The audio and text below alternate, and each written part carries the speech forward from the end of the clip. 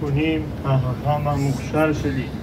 אני כל כך שמח ומתרגש לחגוג יחד איתכם.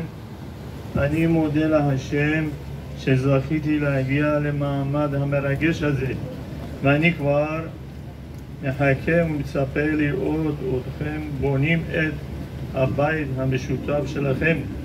אנחנו מודים ומעריכים שאתם וניקול השקעתם מאמצים וארגנתם שתי אירועים של חופה ומסיבה בזמן כל כך קצר.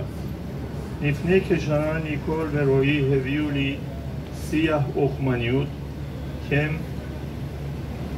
יודעים כמה אני אוהב ומשקיע בגינה במרפסת.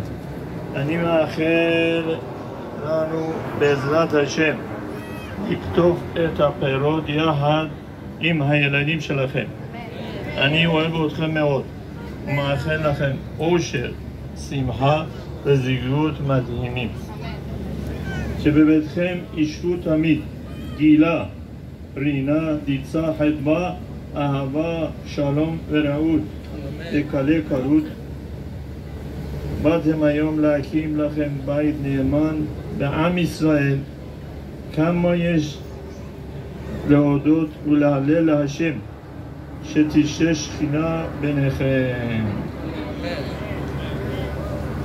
אוהב אתכם.